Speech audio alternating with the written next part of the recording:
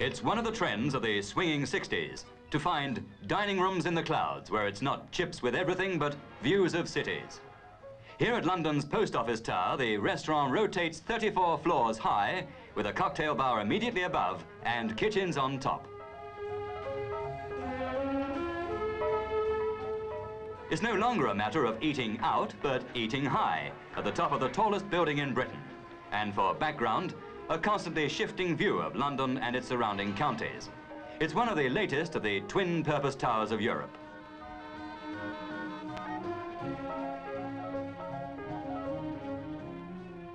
In Germany, Stuttgart's tower is a TV transmitter with a double-deck restaurant in a crow's nest some 500 feet high.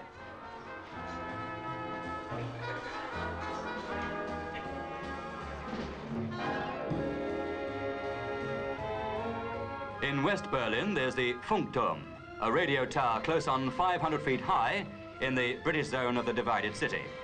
Its restaurant, halfway up, offers diners views of the other side of the Iron Curtain, as well as the new road network of West Berlin.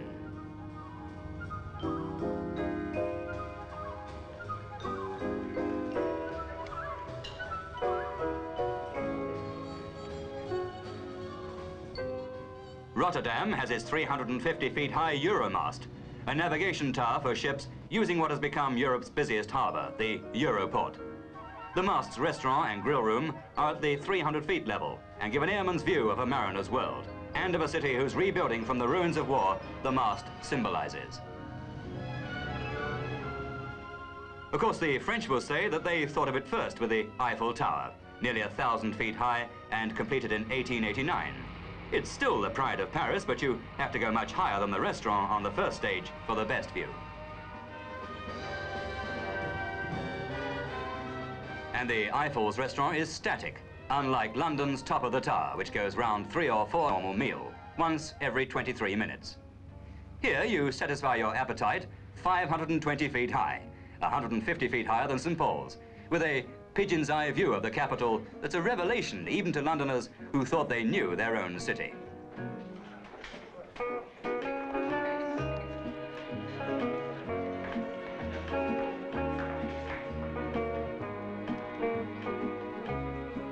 Crossing from the stationary to the moving part of the restaurant presents no problems, but for waiters, it's sometimes puzzle find the customers, whose table has moved since the waiter took their order.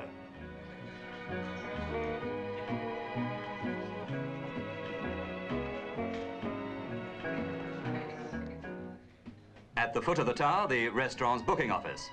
A tourist attraction, as well as an eyrie for gourmets, the restaurant serves 800 lunches and 1,300 dinners every week.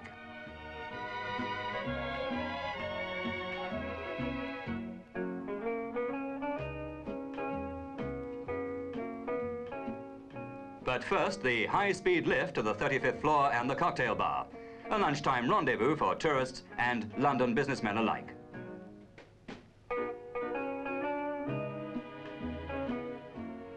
Prices are high. They have to be if this restaurant's to pay its way. The rent alone is £20,000 a year, and a further 11.5% of every bill is payable to the post office, as well as a four shillings charge for each customer's ride in the lift. It all goes to relieve the taxpayer's bill for running the £8 million tower.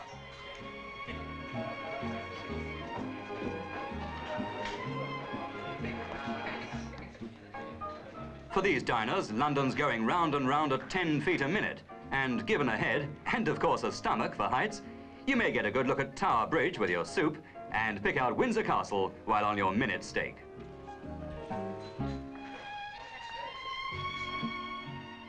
Space is a problem for the restaurant whose wines have to be kept in the tower basement, where there's also the main food store. Supplies called up daily by the chef have to be airlifted before 9 o'clock each morning. After nine, the tower's two lifts are kept busy on post office business.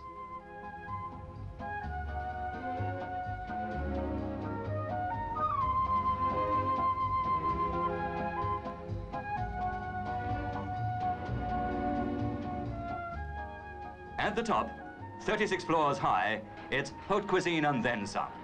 Here a staff of 38 work on each meal, 20 of them chefs producing dishes to impress the most fastidious gourmet ranging from smoked eel to caviar and lobster thermidor, Florida cocktail to a special entrecote steak for two called Tour de Ronde. It's the international level of the post office tower, where a third of the chefs are French, another third Italian, and the head chef Spanish. And they pursue their art in a kitchen the shape of a ring, with hardly enough space to swing a cleaver or a rolling pin.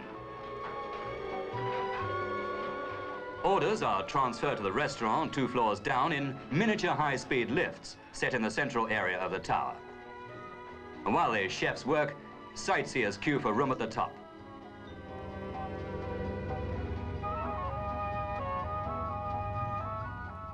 On average, 4,500 people a day take the vertical ride to the three observation galleries just beneath the restaurant. There's priority in the lifts for diners on the way up to the restaurant.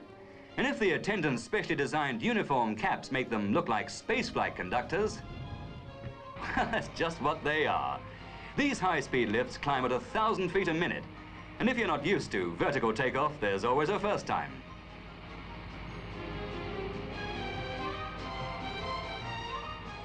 The viewing galleries, at a vantage point three times as high as Nelson's column, with views over a 15-mile radius of Greater London, the Greenbelt, and parts of Essex, Surrey, Kent, Berkshire, and Hertfordshire.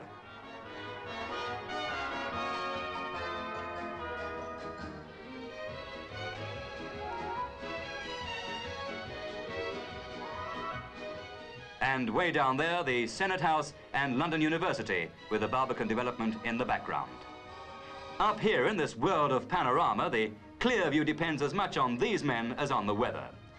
Keeping the tower's windows clean is a big job, with 50,000 square feet of glass to look after. And the window cleaner turns the restaurant's rotation to advantage. He has the triple glazed windows come round to him.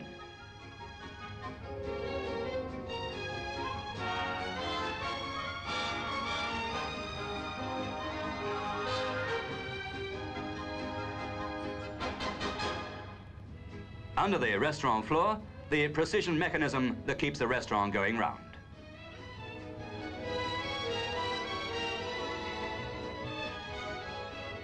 The clearance between the moving and static parts of the floor is just one-eighth of an inch. Here, the mechanism comes in for regular inspection and maintenance. The gears are checked, the 48 rollers greased. It's a simple rack and pinion system. And what keeps 50 tons and more of restaurant on the move is a compact two horsepower motor.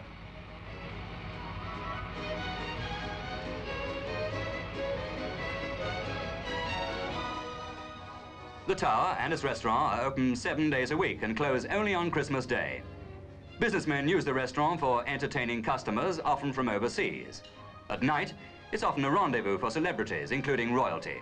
And diners are so captivated by the views that they linger longer than in most restaurants.